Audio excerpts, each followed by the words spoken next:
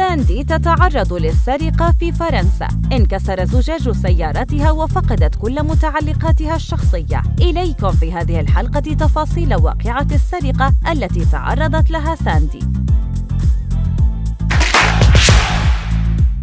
كشفت المطربة ساندي أنها تعرضت لواقعة سرقة أثناء تواجدها في فرنسا. نشرت عبر حسابها على إنستغرام story ظهر فيها زجاج سيارتها وهو مكسور. وأكدت أنه تم كسر زجاج السيارة وسرقة كل متعلقاتها الشخصية وشنط ال shopping التي قامت بشرائها. علقت ساندي على هذه الواقعة وقالت اتسرقت في فرنسا. ووجهت رسالة لمتابعيها وقالت علشان تعرفوا بس إننا عايشين في أمان. عمار يا مصر.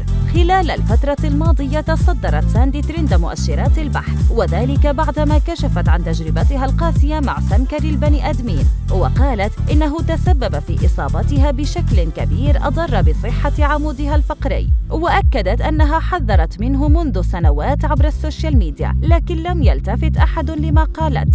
ساندي واحدة من المطربات التي حققن شهرة كبيرة بين الشباب. بدأت مشوارها الفني عندما أصدرت ألبومها الأول كل ما قرب لكن بداية انطلاقها الحقيقي كانت عام 2009 عندما طرحت أغنية شفت ما كلمنيش في نهاية 2015 أعلنت ساندي اعتزالها الغناء لأسباب صحية لكنها كشفت خلال لقاء تلفزيوني أنها لم تكن على دراية بهذا الأمر.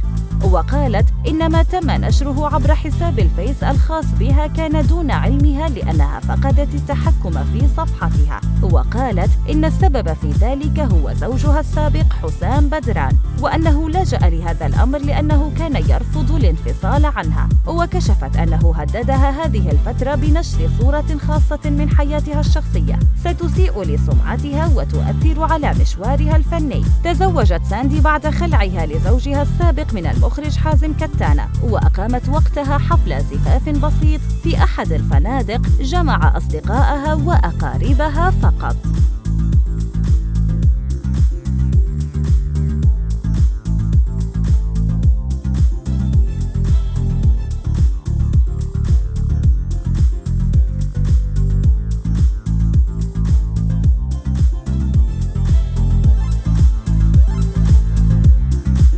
تنسوا الاشتراك بالقناة ليصلكم كل جديد.